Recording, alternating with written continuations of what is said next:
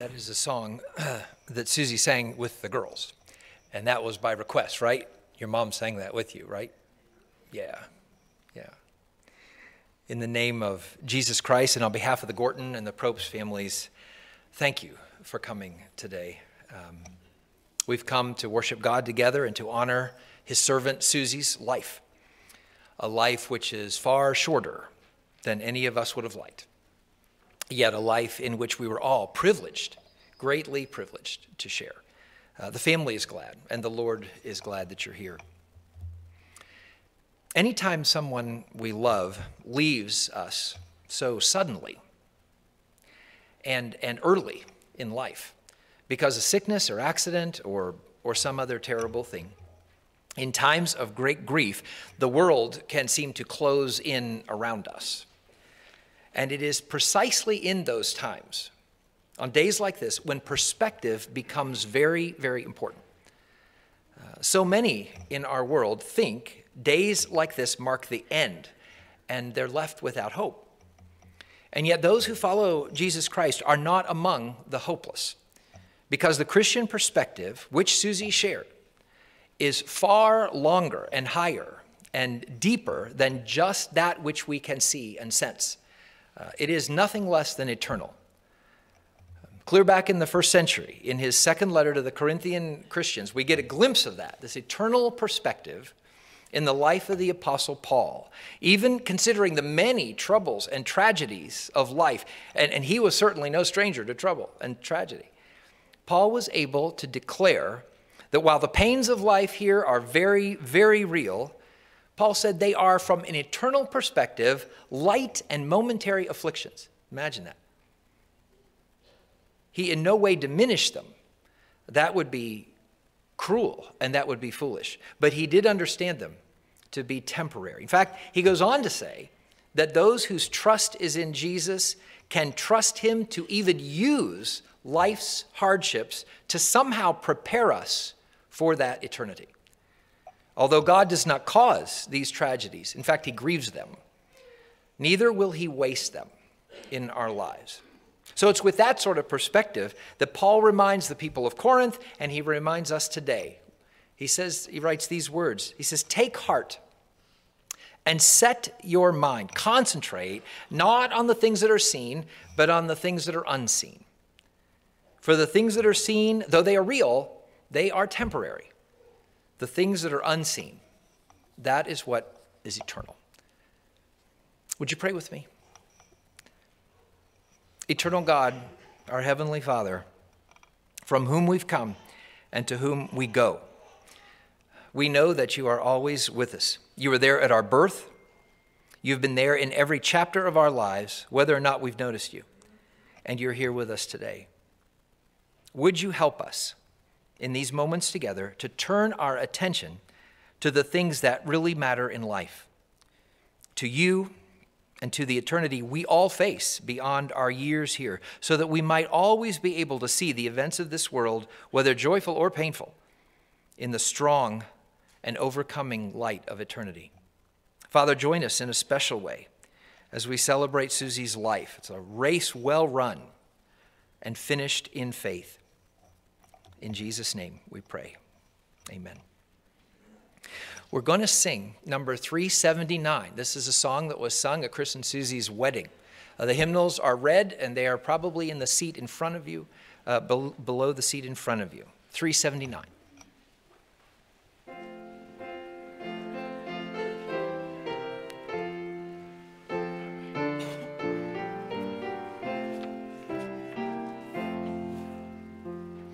Take my life and let it be consecrated, Lord, to Thee. Take my moments and my days, let them flow in ceaseless praise. Let them flow in ceaseless praise. Take my hands and let them move at the impulse of thy love. Take my feet and let them be swift and beautiful for thee, swift and beautiful for thee.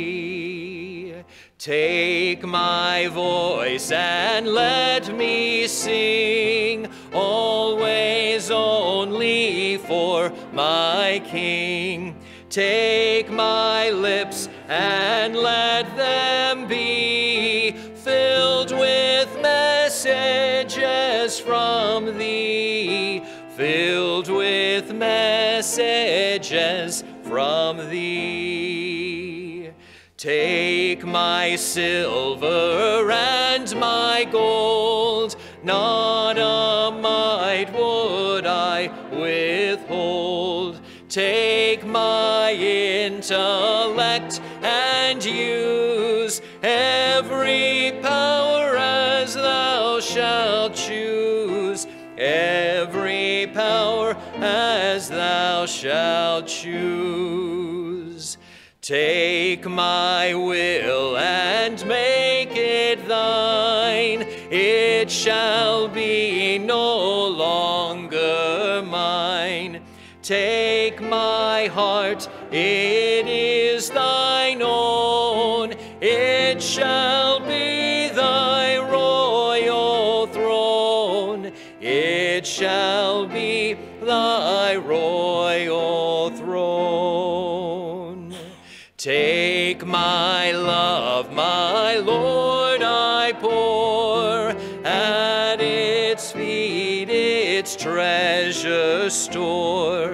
Take myself, and I will be ever only all for thee, ever only all for thee.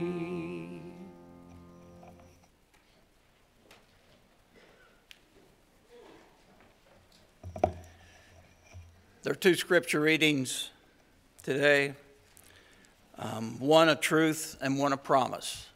Let's start with the truth 1 Corinthians 13.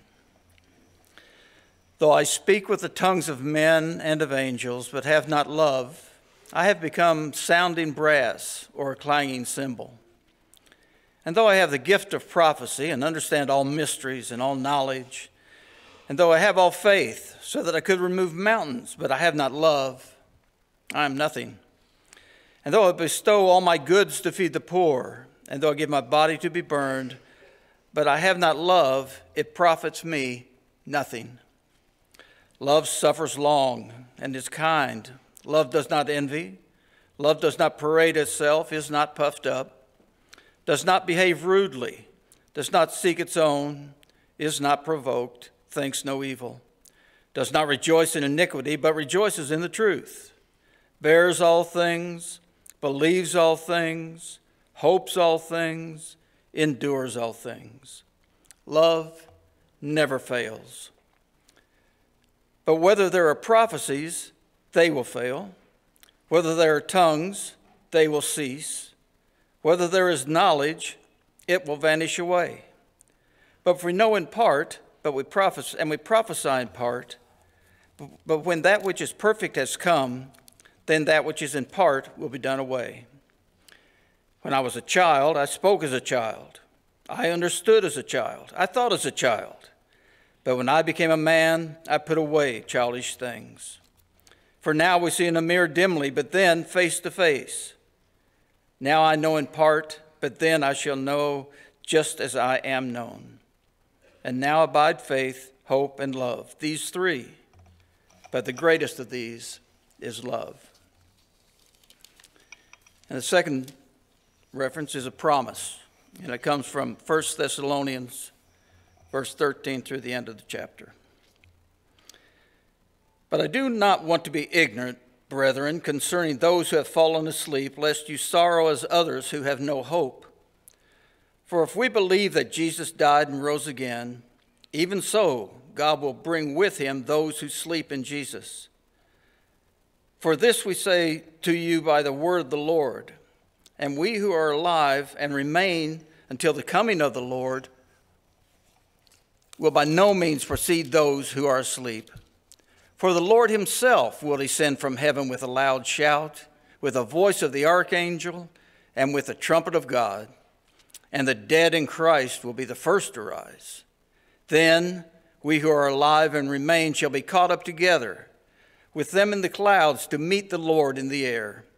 And thus we shall always be with the Lord. Therefore, comfort one another and yourselves with these words. Amen.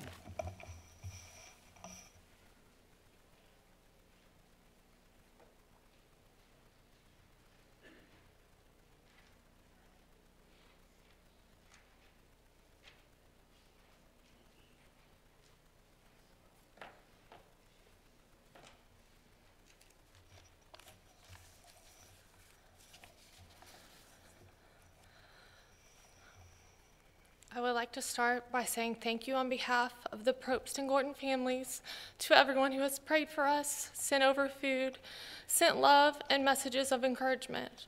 We have felt loved and lifted up in prayer. We have received messages and, and encouragement from all over the country and even from other parts of the world, which is truly humbling, but also reminds us of how much of an impact Susie had on those who she met in each phase and each area of her life.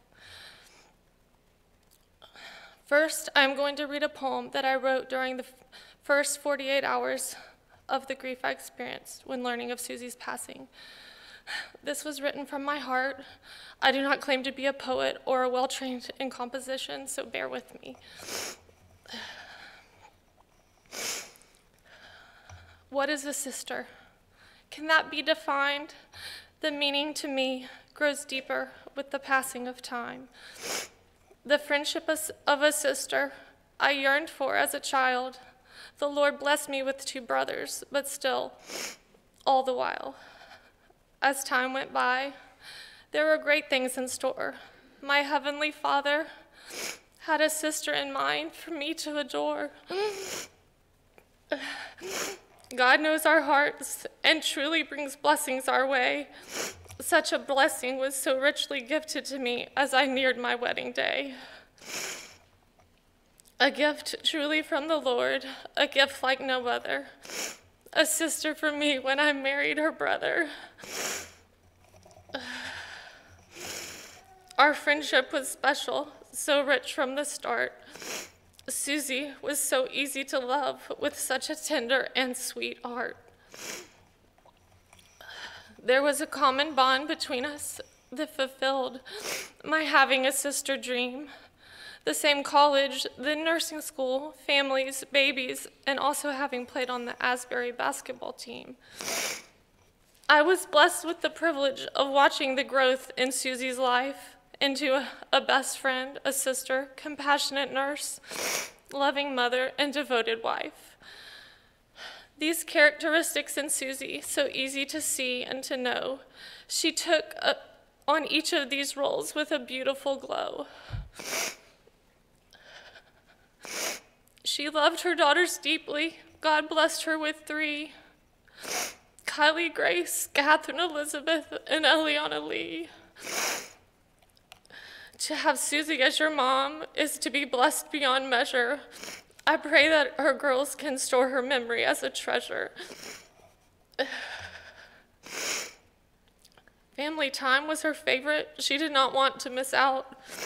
Time with siblings, parents, aunts, uncles, nieces, and nephews was what she was all about. Susie gave so much of herself. She had a servant's heart. Jesus' love and grace, no doubt, was her desire to impart. The love of Jesus she did show to her family, to her friends, to the patients she cared for as an amazing RN. Life seems so unfair, and we don't understand. We must keep loving, keep trusting that God has a plan. We are heartbroken by this loss, but so very thankful too that Susie, we were blessed to have known and loved you. So, what is a sister? You ask as this ends. She is the very best mix of cherished family and closest friend.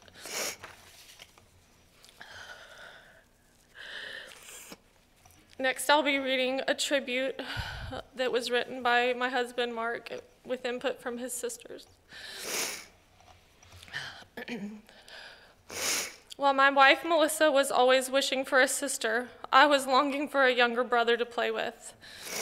I can distinctly remember, remember at the age of seven, my parents sitting us kids down and informing us that we were going to have a younger sibling.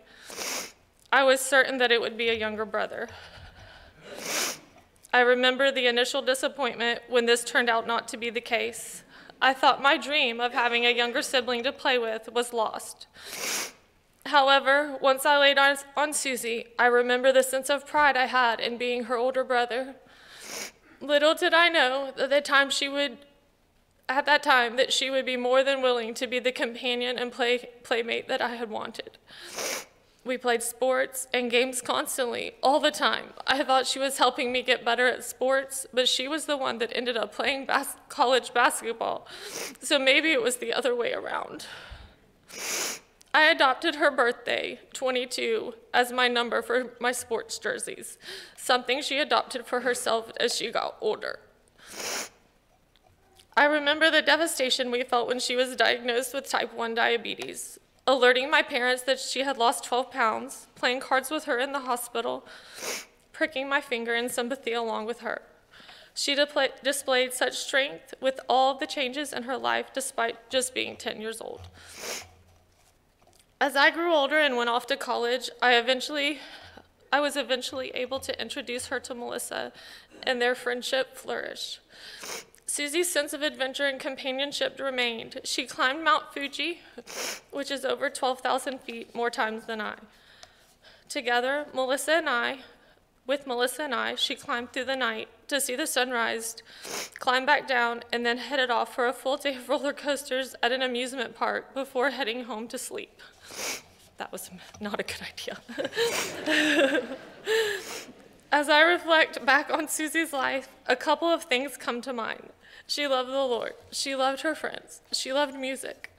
She loved adventure. She, she worked hard. She loved giving of her time. She loved giving presents. She loved planning parties. But the thing that stands out in my mind is her love of family.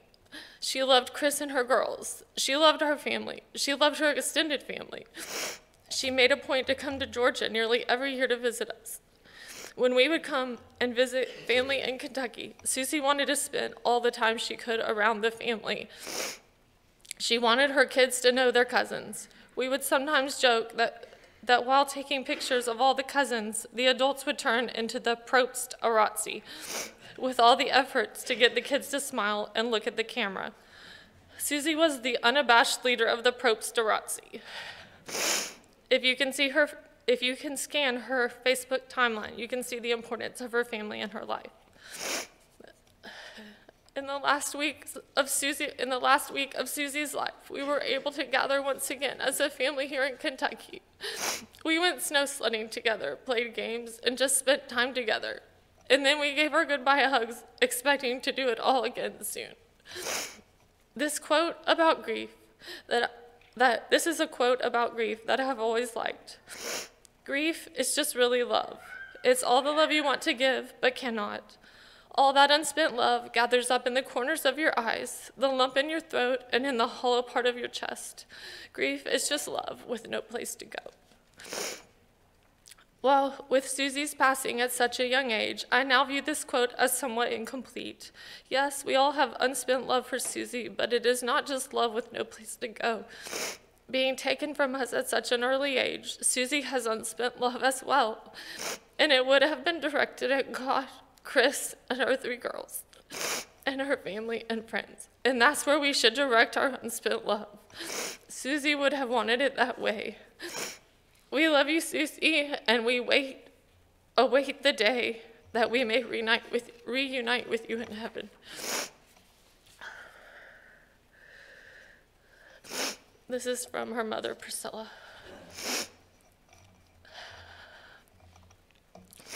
Susie was our caboose blessing to complete our family. She was 15 years younger than our oldest and seven and a half years younger than her closest sibling. Yes, I took her to Becky's high school home economics class to demonstrate caring for a baby. When we were out and about in Japan, we could hear ladies talking about who was the baby's mother, Becky or I. How devastating to be considered a grandma when you were 38 years old. Susanna, from earliest childhood, was very caring, very motivated to help others in any way possible. When she was just 10 years old, she came to me and asked me to list the references for my favorite Bible verses. Then she, with a bit of help from her daddy, typed them up, printed them into a little book with a cover made from a beautiful Japanese washi paper. From then until present, I have cherished that book so very much. Now it is more precious than ever before. She always lives so selfishly for others. Words can never express how much help she has been to me, being the child who lived closest to me since Dennis passed away in 2016. Her help and selfless care for me in the past couple of months meant more to me than words could ever express. She gave of her time, her money, time away from her own family, less sleep than she than what she needed in order to be near me and care for my needs. I thanked her and hugged her often, but how I wish I had one more chance to hug her, thank her, and perhaps repay her in some small way for her love and care and help. It was clearly obvious to all of us, her family, classmates, teachers, and friends, that Susie pushed through her diabetes with great courage, perseverance, and acceptance. It was actually amazing and only possible to the degree because she knew God was with her and was empowering her day by day. She refused to let it stop her from doing anything she wanted to do. Susie was in transition often between the two countries in her growing up years. Even as a very young child, she did not like saying goodbyes. And today, our entire family is finding it so very difficult to say goodbye to her. But I am comforted to know that her daddy welcomed her with one of his great big bear hugs. And best of all, she is in the presence of Jesus himself. In addition to transition from one side of the world to another, Susie lived in many, many different homes during her life from birth to adulthood. During such, one such transition, when she was just two years old, she asked the question, Where is home? And today I would answer, Susie, dear, you are finally home. I'm going to close just with reading two um, verses that have been um, a, I guess just a reminder for me in this time and somewhat of an encouragement. First Chronicles 16:11 says, "Look to the Lord and his strength to seek his face always." And John 3:30 says, "He must become greater and I must become less."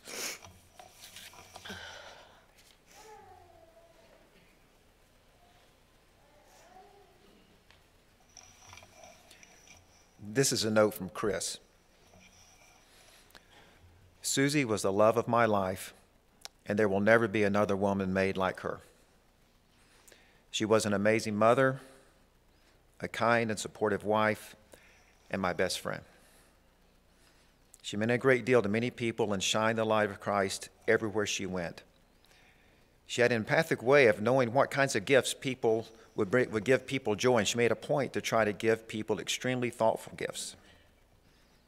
She also had a Christ like innocence, but could scold someone that was being inappropriate while also letting them know how much she loved them.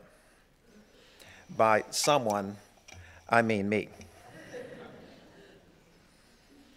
She was my memory, my calendar scheduler, the mother of my children, and the love of my life. I wish you could see how many people loved her, and it's an honor and privilege to see how many people's lives she touched in some way. May God bless you all in peace. Susie, you will be greatly missed. Ashiteru.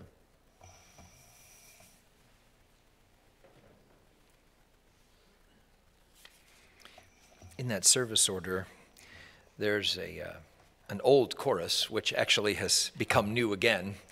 And uh, Susie and Chris taught it to the girls. Uh, It's the one that you're thinking of if you are thinking of this one. and we are going to sing it. Uh, it's an echo song, you know. Uh, I'll sing the first part of the, and then we'll just sing it through a couple times, okay?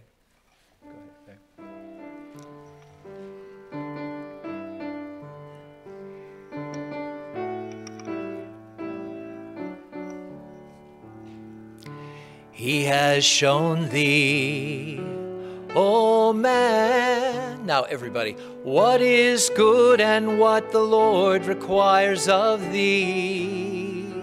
He has shown thee, O man, what is good and what the Lord requires of thee. Same here.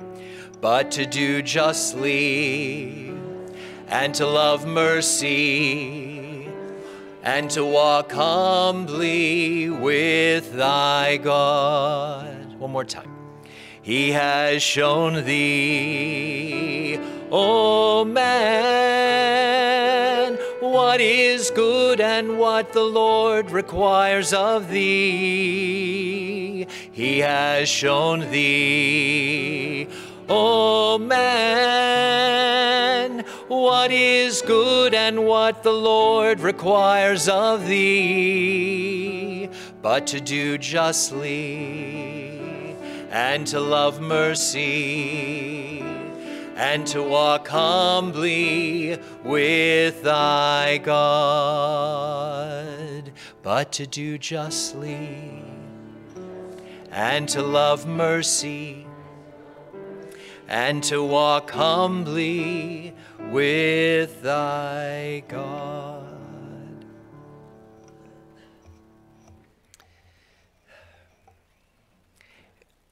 If you uh, happen to follow either sports or national news at all in these past few weeks, you know that on the day before Susie died, one of the Buffalo Bills football players, Damar Hamlin was his name, he collapsed of an apparent heart attack in the middle of a game, Monday night game. Later on that same evening, another player, I forget his name, but he was about he was the same age as Damar Hamlin, young, 24, I think.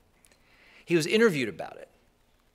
And he made the comment in that interview. He said, "You know, someone my age, I never even thought that I could die." With those words, that player captured the thoughts of so many people who watched what happened to Hamlin there on the field in Cincinnati. But that very same thought describes us, doesn't it, as we sit here today? Most of us still in shock, really, over what happened to Susie. It never even crossed our minds that she could die. I remember thinking the same thing a few years ago when my cousin died at age 51. He was a big, strong guy. And all of a sudden, he was gone. 51 is awfully young to die. I remember thinking that, but 36 is even younger. It's even younger. And we're left to wonder why. If we're honest, we all struggle in our minds with the fairness and the, the justice of it. In her work, Susie knew well how things like heart problems and diabetes and strokes and cancers, she knew they seemed to attack our bodies so indiscriminately. She cared for people of all different ages with all different kinds of illnesses. Why is that? How is it that we can be so susceptible and so suddenly to disease and, and to death? And where is God in it? How does he fit into it? It's okay if you're asking those questions. Uh, they're good questions. And I want to spend just a couple minutes considering those questions together. The Bible tells us that there is a God. And he's not just some impersonal force out there in the sky, but there is a God with a name. There's a God that we can know. The Bible says that this God created this world that we live in, and He created it to be good, a beautiful world, a world without pain and disease and, and death. And He made it because He wanted a special place for us, for humanity, boys and girls, and men and women, and you and me. Uh, we are creations of God. The complexity of our bodies proves that, if nothing else. Again, Susie understood that very well. And we're put here for a reason. And the reason is that we might know God and that He might know us and that we could have a relationship together with Him. He started a long time ago with two people. He created a man and a woman in His image. And that, in part, means that He gave them a free will. Uh, he gave them the ability to choose what they would do with their lives, just like God Himself has the ability to choose. God put that man and woman into that good world, and He asked them to be a part of His family. He told them, I'm your creator. I'm your source of life. If you'll live with me, if you'll do as I say, then we'll enjoy one another forever. He asked them to choose to love him. And of course, you know what they did. Uh, they rejected God. They walked away from their creator and their very source of life. And in doing that, they brought death into that good world that he'd made, a world that was never supposed to know death. And so now we have death in our midst. Uh, and over the course of time, because more and more people decided that they wanted to do things their way and not God's way, this good world became, in some ways, not so good anymore. Oh, it's, it's still very beautiful. You know, you look outside. It reflects a lot of its original beauty and grandeur. But you and I know all too well, and especially we know today, that this world is now a world of pain and suffering and death. So, what is God to do with us and with our world? How does He respond to the decisions humanity has made? On one hand, God is absolutely just, and He needs to deal with the mess that humanity has made of itself and of His world. So He would be entirely justified in just wiping us out. After all, He's not the one who walked away from us, we walked away from Him from our source of life. Humanity chose death in that moment, so he would be right in just giving us what we deserve. But the thing is, God loves us too much to just let us go. God is just, but he is also love. He created us in love, and in spite of how we have treated him through our lives, he is still very much in love with us, with you, and with me. And so you might say, God had a problem. How does he deal with us justly, but also lovingly? Well, he came up with a plan that none of us would have ever thought of in a million years. At just the right time, a little over 2,000 years ago, God sent his son, Jesus, to live here with us in this earth and to live a perfect life and then to die in order to pay our debt, the just for the unjust, to satisfy the requirements of his own justice. What God did through Jesus was he made a way for you and me to escape eternal death. That was his solution. You see the signs, you know, at every sporting event on TV, probably at that Bills game there's some sign hanging over a banister in the stadium that says John 3:16, right? Some of us memorized that verse when we were kids. This is what it says. It says for God so loved the world that he gave his one and only son that whoever believes in him shall not perish but have eternal life. That was God's solution in one sentence. And you know, no truer words have ever been spoken. God loves each one of us so much that He has given us a way to escape eternal death. He's given us a way to, to come back into relationship with Him, a relationship that we can enjoy while we're here on earth, and one that goes on after we depart this life. And the way into that relationship is to follow Jesus, to, to stop putting our trust in ourselves as if we could ever save ourselves, and start putting our trust in Jesus and in what he has done for us. Because Jesus said, I am the way, and I am the truth, and I'm the life, and no one comes to the Father except through me. The fact that we are here today, because none of us thought we would be, uh, the fact that we're here today reminds us that we live in a broken world, a world where death still takes those we love from us. But this world is not the end for us. We are eternal creatures. We were made to be. We weren't made to die.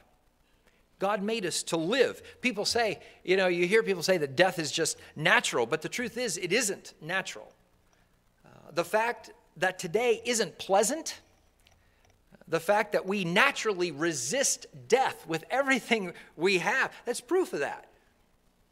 We are programmed to fight, to live as long as we can, because God made us to live, and He made us to live eternally. And if we haven't already, you and I have to face that fact. We are eternal creatures. And because of that, we need to make some decisions about our eternal life to come. Now, I can tell you with great relief and great joy that Susie made those decisions a long time ago. Uh, she trusted in God, she trusted in His plans. She followed Jesus, she modeled a life of faith and love to her family and her friends. You saw the evidence of that last night if you were here.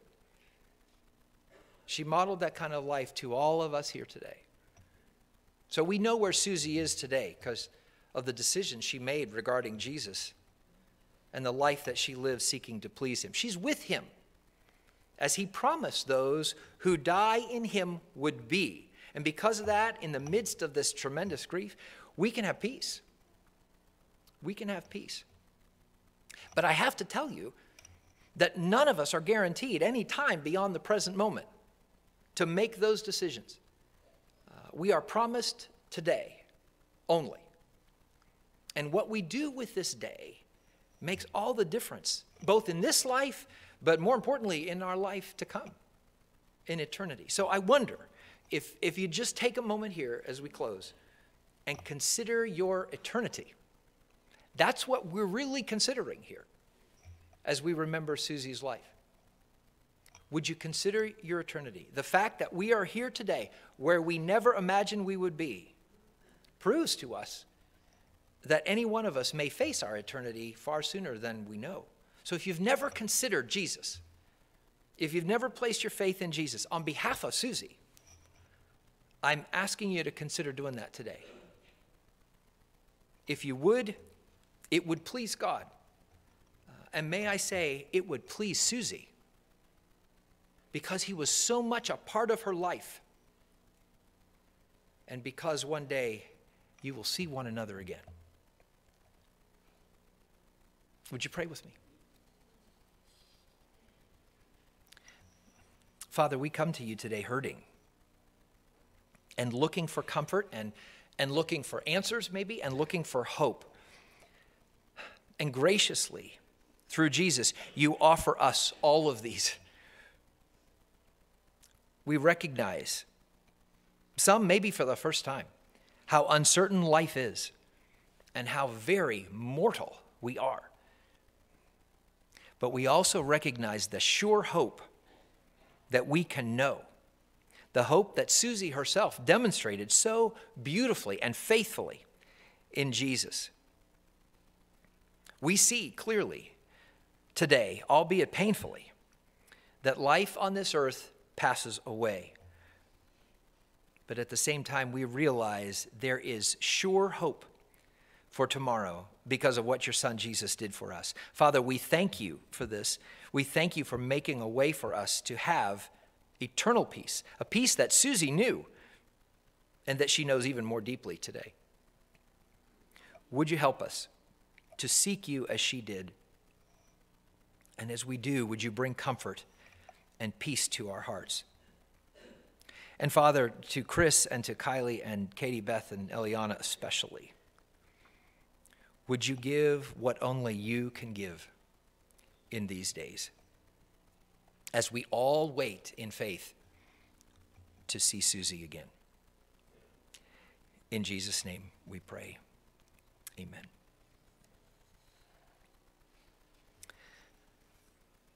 The program says I'm to give a, a benediction. That's Latin for good word. And some wonder how any good word could be given today. But our good word is Jesus. Susie knew that. Susie lived for him. And because of him, there's hope. Uh, the family is so glad that you have come today. Uh, if you came last night uh, to encourage them and express your love for them, thank you so much for waiting in that line. it was a huge line. Um, for those who weren't able to be here last night, the family's going to remain here at the front for just a few minutes. So if you if you need to just quickly greet them before they go to the cemetery, you, you might come up and do that. But otherwise, uh, I want to dismiss you in the peace and in the name of Christ. Thank you so much for coming today. Amen amen.